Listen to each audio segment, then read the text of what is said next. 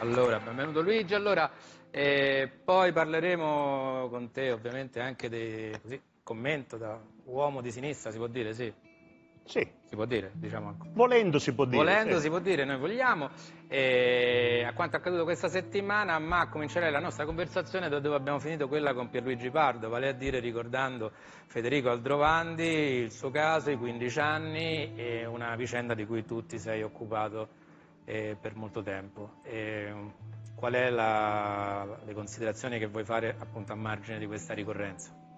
È una vicenda importantissima quella di Federico Aldrovandi. Ricordiamola ancora, colpito a morte da quattro poliziotti in una piazza di Ferrara. È importantissima non solo per l'immane tragedia che ha costituito per i familiari, per gli amici, per la città, ma perché ha offerto una lezione molto significativa. Alla fine di quel 2005 la vicenda giudiziaria di Federico Aldrovandi stava per essere completamente cancellata, consegnata all'oblio. Se così non è andato, si deve in particolare alla mamma di Federico, Patrizia Moretti, al padre,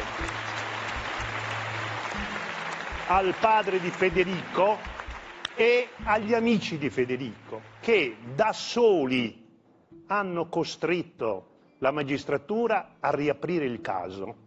E aggiungo che l'hanno fatto contro una sostanziale inerzia, spesso ostilità da parte delle autorità di magistratura e di questura.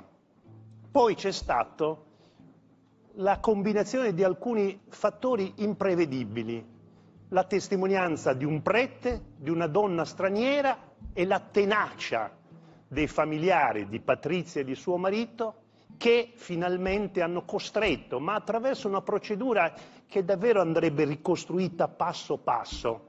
La prima manifestazione fatta in piazza era costituita, dice sempre Patrizia, da 6-7 persone con 6-7 cartelli.